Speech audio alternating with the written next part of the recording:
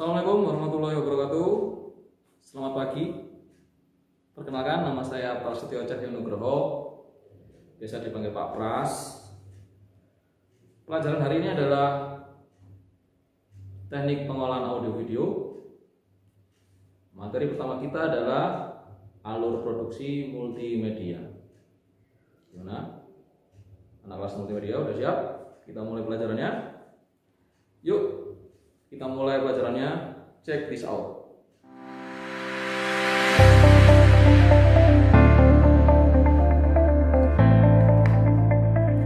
Oke, sebelum kita lanjut ke materi kita, yaitu alur produksi multimedia ya, kita harus kenalan dulu nih sama mata pelajaran kita ya, yaitu TPAV. Apa itu TPAV? T itu adalah teknik, P itu adalah pengolahan, A itu adalah audio, V adalah video. Nah, di TPAV adalah teknik pengolahan audio video. Jadi kita akan nanti akan mengolah nih ya file audio yang biasanya kita gunakan headset untuk mendengarnya dan juga file video juga yang bisa kita rekam dengan kamera seperti ini ya kan kita olah menjadi sebuah produk nah produknya bisa sebuah film nah, itu kan produk audio video ya film iklan kemudian apa lagi?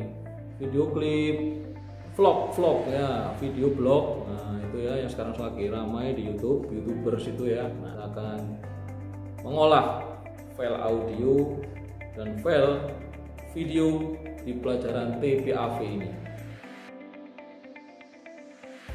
Nah kita ke materi hari ini yaitu alur produksi multimedia kita bahas satu-satu dulu nih ya bahasanya alur produksi multimedia alur itu adalah jalan ya langkah alur ya.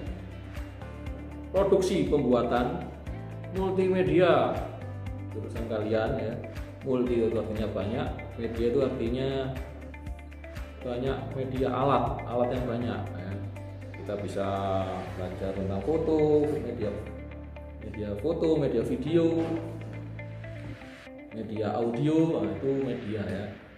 Jadi seperti itu. Alur produksi multimedia. Jalan membuat produk multimedia. Jalannya seperti apa? Nah, selalu dibagi menjadi tiga tahapan ya satu itu adalah praproduksi atau perencanaan. Dua produksi atau pelaksanaan. Tiga pasca produksi atau penyuntingan.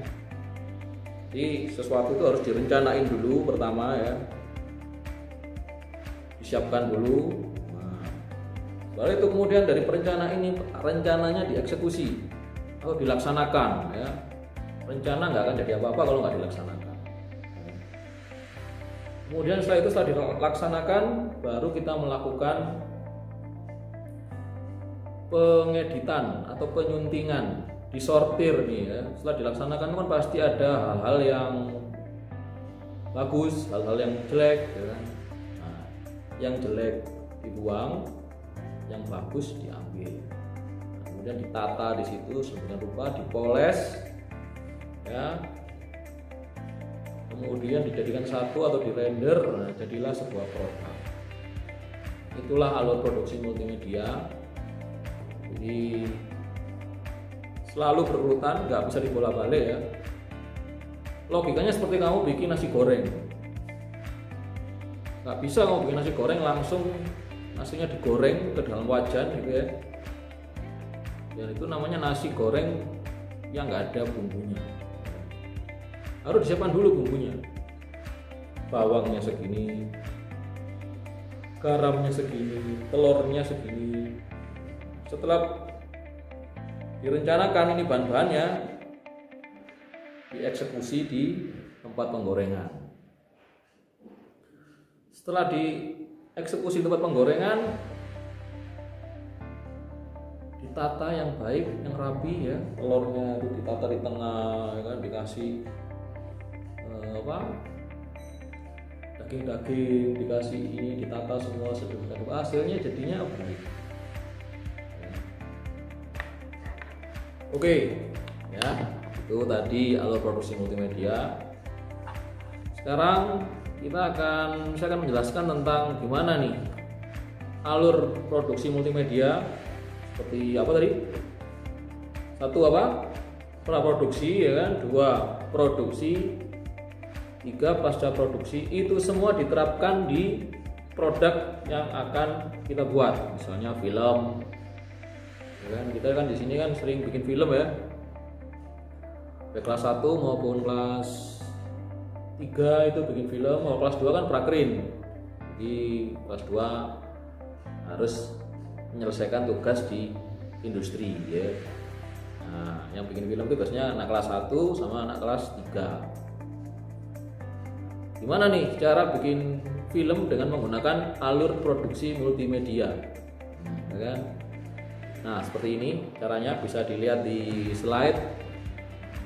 Jadi itu alur produksi multimedianya untuk bikin film pendek ya, karena kita di jenjang SMK ini produksinya film pendek ya, bukan film panjang. Film panjang itu film yang di Hollywood itu film panjang tapi kalau kita di tingkat SMK ini biasanya bikin film pendek karena yang pertama filmnya itu spesifikasinya karena durasinya pendek tidak membutuhkan hardware yang uh, spesifikasi tinggi ya kan? Cukup film dengan durasi 10 sampai 15 15 menit saja yang kita buat. Jadi praproduksi itu benar-benar menguras yang namanya otak ini ya. Tahu pasti akan bosen ya kan tentang praproduksi ini tapi kamu jadi lebih kreatif ya. jadi kamu bisa bayangin buat nulis. Jadi bikin film itu nggak langsung sotang syuting sotang syuting wah kacau nanti hasilnya ya. Harus direncanain dulu wah ini ya praproduksi itu kita benar-benar menguras daya kreativitas kita di situ. Memang pusing ya. Memang capek otaknya tapi daripada nanti produksi kacau ya. Kan?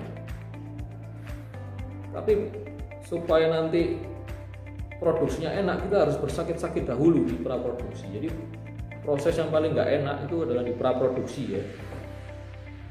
Banyak yang ngeluh nih murid-murid saya ya. Semoga nanti kalian nggak ngeluh ya. Waduh pak kesel aku nulis terus pak. Kapan lagi syuting nah seperti itu biasanya ya murid-murid saya itu semoga kalian tidak seperti itu ya. Kalian saya yakin kalian adalah generasi yang uh, apa istilahnya generasi Z ya sekarang ya. Generasi Z yang membanggakan keluarga dan juga bangsa. Ya. memang praproduksi ini banyak nulisnya banyak pusingnya tapi dengan tekad yang kuat dengan passion yang kuat ya saya yakin itu pasti akan mudah semua kalau sudah senang pasti mudah. Yang kita pelajari di sini sampai sinopsis aja dulu. Nah, nanti masalah yang bawa-bawa treatment, storyboard itu nanti akan kita pelajari selanjutnya. Nah, kita akan menuju ke prosesnya bagaimana alur produksi sebuah film ya kita ke film dulu aja karena ini mengasihkan kalian bisa mengerti film itu kayak apa kalian bisa mengerti apa aja yang harus kita lakukan saat bikin film. Ya, karena kita nanti saya berharap nantinya kalian akan jadi filmmaker nih. Ya kakak kelas kalian itu sudah banyak sekali memenangkan event-event film di tingkat nasional maupun regional ya. Kalau internasional belum tapi saya harap kalian bisa ya. Nah kalian ada di rumah ini ya saya harap nanti kalian bisa nih angkat filmnya SMK PG SMK PG 3 Malang ke jenjang internasional. Selama ini kan yang jenjang internasional masih dipegang oleh desain grafis. Film belum. Nah, itu harus jadi motivasi kalian ya. Gimana nih caranya ngangkat filmnya Skarika itu ke jenjang internasional. Nah, itu ya. Nah, seperti itu. Kalau produksi yang pertama adalah membuat pesan dulu dari filmnya ya. Pesan ya. Ini penting sekali dalam buat bikin film. Jadi sebelum bikin film kamu harus tahu dulu kamu mau ngomong apa ini ke penontonmu tentang filmnya. Mau ngomong apa? Mau ngasih tahu apa ya? Contohnya nih film Laskar Pelangi ya. Tahu Laskar Pelangi? Pesannya Laskar Pelangi adalah walaupun dengan kesederhanaan. Walaupun apa yang kita punya itu tidak istimewa tapi dengan semangat yang tinggi dengan semangat yang kuat kita pasti bisa meraih prestasi. Nah, itu gitu ya. Jadi ini menginspirasi ya walaupun kamu itu nggak punya apa-apa nih. Kamu nggak punya kamera. Kamu nggak punya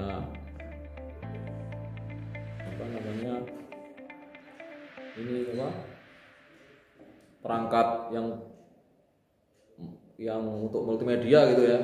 Tapi kamu harus punya yang namanya semangat ya. Nah, ya. Asal pelangi itu sekolahnya mau ambruk tapi dia bisa akhirnya di dalam sebuah pentas seni bisa mengalahkan sekolah-sekolah yang sudah yang bisa di, bisa diistilahkan lebih dari mereka ya. Jadi dia bisa menang gitu ya dengan semangat yang kuat tekad yang kuat. Itulah pesan dari sebuah film. Biasanya pesan dari film itu kita supaya gampang itu kita bikin dari ini ya peribahasa-peribahasa gitu ya berakit-rakit dahulu berenang-renang ke tepian bersakit-sakit dahulu bersenang-senang kemudian. Nah itu bisa buat pesan film kamu kalau misalnya kamu butuh referensi. Ini banyak inspirasinya. Bisa juga kamu pesan dari kehidupanmu. Ya kan kamu nih kalau nggak salah nih ya kalau saya boleh ini sekitar umurmu itu sekitar 15 16 tahunan ya. Nah, dari perjalanan hidupku 15 sampai 16 tahun kan pasti ada momen atau memori yang pernah kalian tangkap ya, yang jadi pembelajaran bagi hidup. Nah, itu apa? Itu bisa kalian buat tulisannya secara singkat, padat dan jelas. Jadi pesan tuh nggak boleh satu paragraf, wow, ya susah. Satu kalimat aja cukup. Nah, kalau contoh saya ini kan waktu bagaikan pedang. Kalau kamu nggak memanfaatkannya, kamu akan terlibas oleh pedangmu sendiri. Nah itu saya dapatkan dari literasi saya ya, literasi. Memang benar waktu itu pedang. Kalau kamu nggak manfaatin ya, kamu akan terlibas oleh pedangmu sendiri. Kalau kamu nggak lihai memainkan pedang, ya kamu akan ditusuk oleh pedangnya orang atau pedangmu sendiri akan menusuk kamu kalau kamu nggak lihai mainkan pedang itu nah, jadi itu pesan bikin yang satu kalimat saja yang simple satu tujuan saja sesederhana mungkin. Itu akan memudahkan kita dalam bekerja selanjutnya. Menentukan genre itu adalah yang kedua. Jadi yang pertama tadi adalah membuat pesan. Yang kedua sekarang adalah menentukan genre film atau jenis film. Itu adalah bagian kedua dari praproduksi film pendek ini ya menentukan genre jadi genre film itu genre itu jenis ya mungkin genre itu lebih familiar kalau kamu temukan tuh di musik ya kan ada musik rock ada musik pop dangdut dan lain sebagainya ya. Tapi film di sini juga ada jenisnya ya. Kalau jenisnya film itu drama, komedi, action,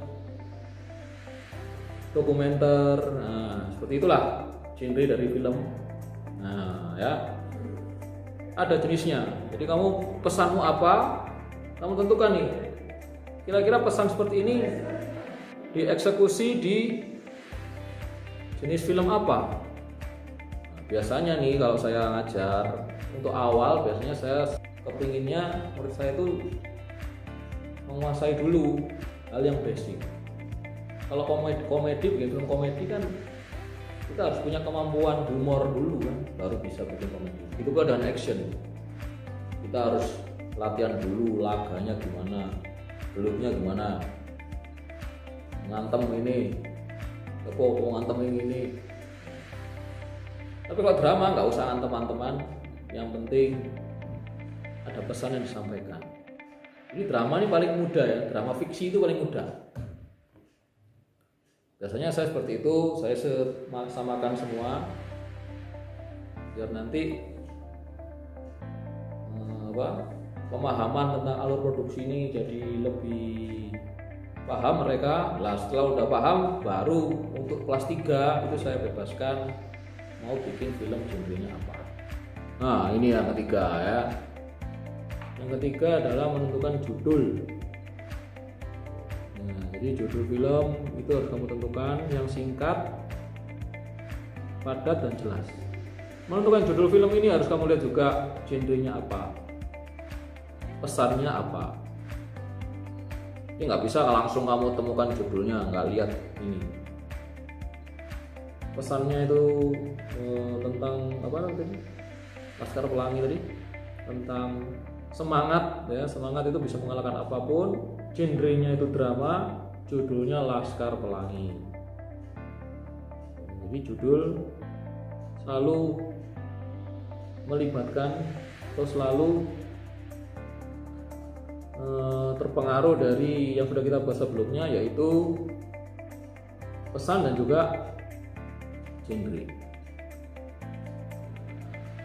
Kemudian kita tentukan judulnya apa selanjutnya adalah sinopsis atau ringkasan cerita cerita secara garis besar. Cerita itu dibagi menjadi tiga nanti tahapannya. Di sinopsis itu nanti dibagi tiga. Satu itu perkenalan tokoh, dua konflik, tiga penyelesaian. Itu selalu istilahnya itu selalu seperti itu cerita-cerita di mana pun ya. Di awal mesti perkenalan tokoh. Tokohnya ini dari mana? Dari mana? Seperti apa? Sifatnya bagaimana? Nah setelah penonton tahu tokohnya seperti apa kasih ini masalah. Red masalah. Oh tokohnya ternyata dia enggak dari Jakarta ke Malang ya kan Jakarta ke Malang. Berarti apa?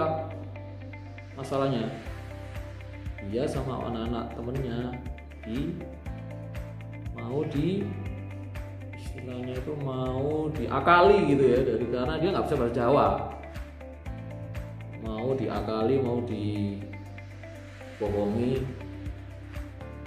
dengan bahasa-bahasa yang keren di Malang ini yaitu bahasa walikan jadi tokoh utamanya ini dapat konflik ini dapat masalah. Ya itu kepingin belajar bahasa Jawa tapi ketemu sama teman-teman yang mau istilahnya mau bohongi dia. Ya mau ngerjain dia. Nah gimana nih selanjutnya penyelesaian di tahap ketiga nah akhirnya tokohnya itu ngomong ngawur ke orang-orang orang-orangnya di emosi Loh, aku ngomong gini kok salah. Makanya dia emosi jadi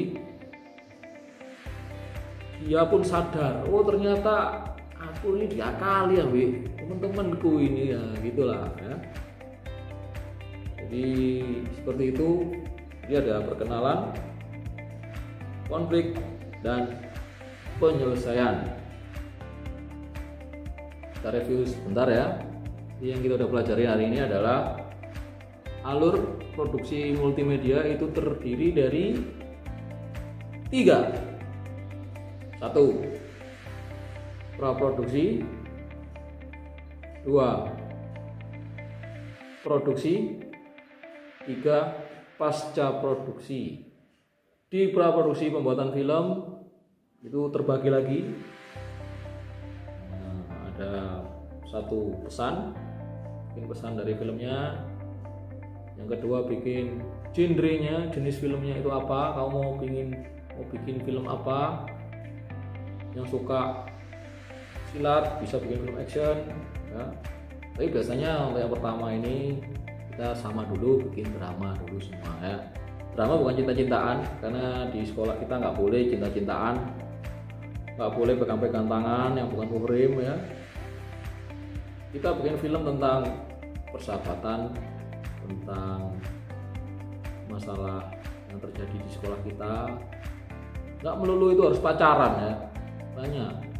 Tentang pelajaran tentang bagaimana kita menyikapi tugas yang diberikan oleh guru bagaimana kita sama guru itu bagaimana. Jadi kita harus kreatif ya. Jangan cinta-cintaan kayak di sinetron-sinetron itu ya. Kita nggak mau seperti itu ya. Kita nggak kepingin generasi kita seperti itu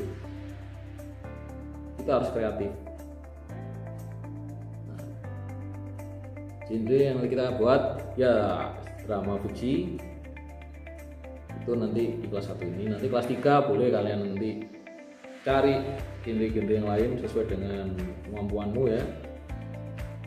Setelah itu setelah menentukan genre menentukan apa tadi? Judul. Nah judul harus singkat padat dan jelas selanjutnya yang keempat di praproduksi pembuatan film yang keempat adalah sinopsis yaitu ringkasan cerita. Yang kelima, yang keenam, tujuh, delapan itu ada sudah saya sebutkan tadi di slide. Cuma nggak saya bahas sekarang. Saya kepinginnya kita santai-santai dulu santai tapi sambil belajar. Nah dari ini semua nanti akan ada tugas dari saya yaitu akan saya kasih linknya nanti ya. Linknya mungkin ada di sini. Nah atau nanti ada di deskripsi videonya. Itu link. Linknya nanti akan memuat film pendek dari kakak kelas kalian yang harus kalian bahas yang harus kalian cari pesannya apa film itu. Jadi kalian tahu nanti gimana sih kakak kelasku itu dulu seperti apa nih filmnya selain nonton film kalian juga harus cari pesannya. Yang kedua kalian cari apa tadi? Genre filmnya ya. Oh, apa nih genre filmnya apa ini? Yang ketiga kalian cari juga judulnya ya. Gampang pak mulai judul wah gampang. Tapi kan kalau gampang gampang nggak dikerjain jadi susah ya kan? Itu yang ketiga kalian buat sinopsisnya. Jadi kalian setelah nonton film dari kakak kelas kalian itu kalian buat sinopsisnya. Materi kita hari ini cukup sampai di sini dulu. Tugasnya nanti bisa dikirim di email saya. Silakan tugasnya dikerjakan sesuai dengan film yang nanti akan saya kasih link ketemu lagi bersama saya di materi TPAV selanjutnya oke itu saya mohon maaf. Assalamualaikum warahmatullahi wabarakatuh. Selamat pagi